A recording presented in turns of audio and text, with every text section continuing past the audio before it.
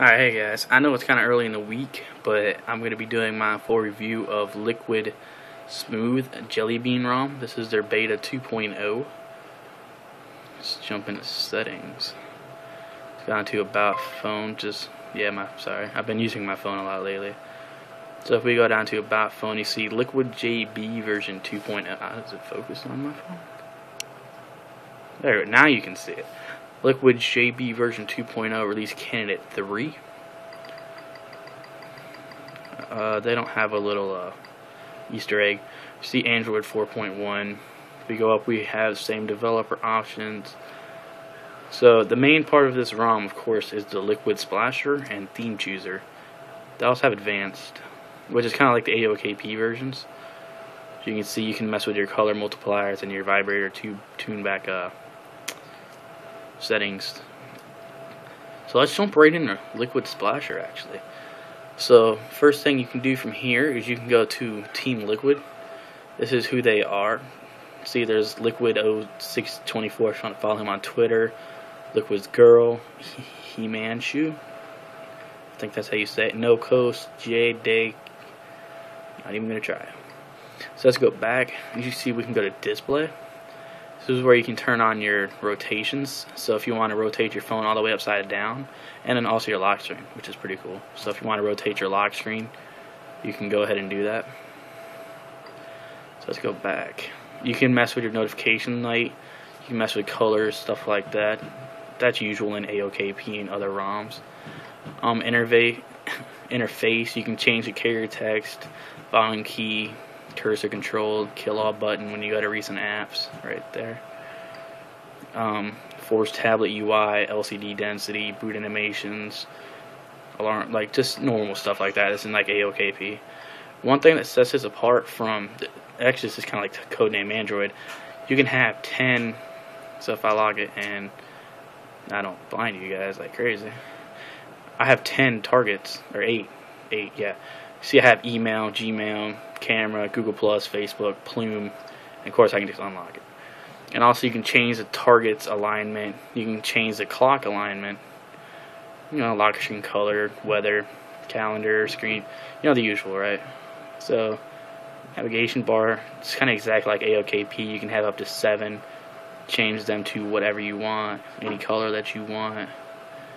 Um, power menus when you press and hold down the power button, of course. As you see, I have a custom theme in case you didn't notice. That's why everything is kind of uh, themed how it is with like the background and stuff like that. So if we go to sound, you got the quiet hours, change your volume panel. My nephew's beating on my door with a golf club. Just ignore the sound. uh, uh, usual face. Most of the stuff is in uh, a AOKP actually. You have the AOKP toggles, and also you have the CyanogenMod toggles. So you can choose which ones you want to have, or you, you can have them both. So you see I only have the one row where there's uh, a CyanogenMod toggles because I like how CyanogenMod looks. Because if you notice AOKP kind of bunches up. Like CyanogenMod they fully expand. Sorry, blinding you. See how they expand all the way across? That's what I think is cool about about that. Um, status bar. Let's go here. You can have your custom battery icon style. You can have icon only text, icon with text, circle mod. See, it says 13%. Um, you can have battery icon and notifications.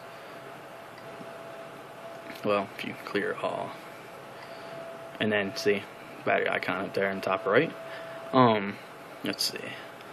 You can, of course, have your custom clock styles, clock colors, AM, PM, day of the week. You see up there, the center clock.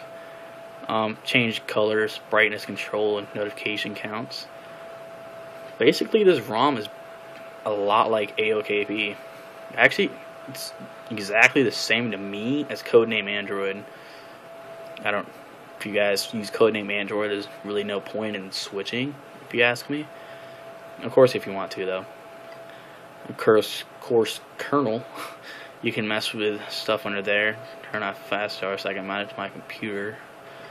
You can mess with the processor. I have SetCPU, so I don't really mess with that. And of course, you have your startup tweaks. It takes a minute to open. Wow, it takes a lot to open, actually. And I don't know what's that.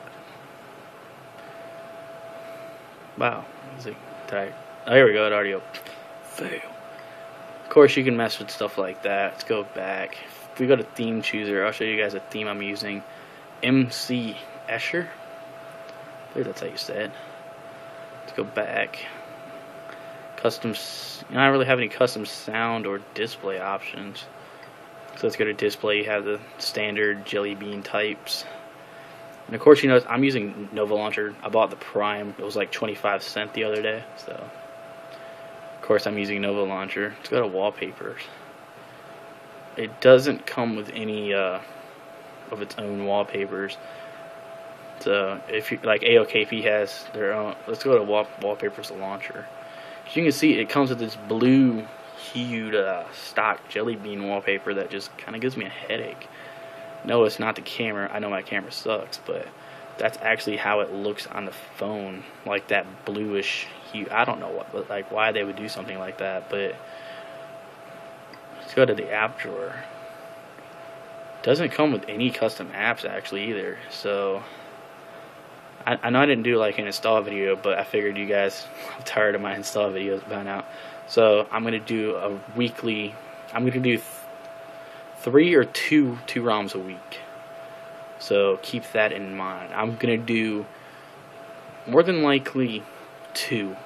Mondays are gonna be my Galaxy Nexus, of course. Um, of course, probably Wednesday.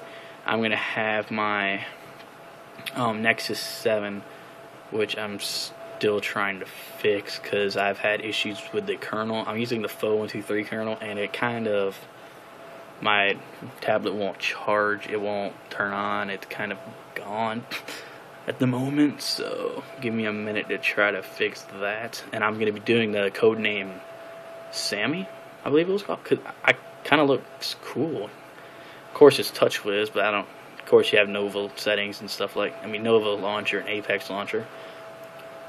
So, you got, this has a pretty cool boot animation. I, want to show you guys that actually. So I'm going to go to reboot, and I'm going to go to reboot phone. And I'm going to show you guys the custom boot animation. See if I can get it set up. Oh, oh, no issues so far. So I'm going to focus. Did it focus? It focused.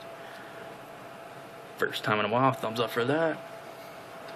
And also thumbs up for this awesome fruit. Del Monte. It's awesome. Just throwing that up.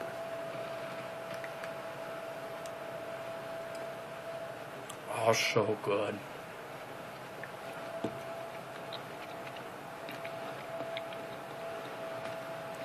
And it takes a minute to boot up, by the way. And also, thumb, thumbs up for apples. They're good for you.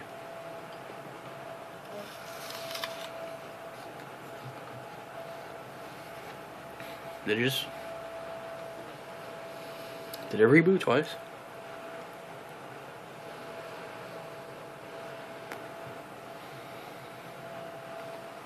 Oh, here we go.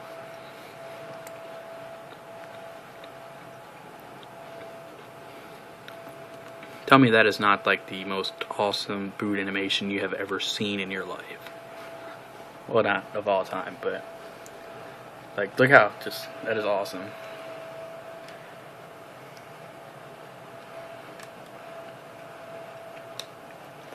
And if you guys have a like, if you guys want me to review a certain ROM, leave it in the comments below of this video or my Nexus 7 videos. Or if you guys want me to review apps, review kernels, don't ask me to review like kernels that suck, please, because I don't really want to be using it for a few days to test out battery life and stuff like that. When it's booting up, you can tell because my battery's not. Again, if this video helped you, make sure to hit that like button down there, subscribe up there, and if you need help with anything, follow me on Twitter at Brandon underscore 0818.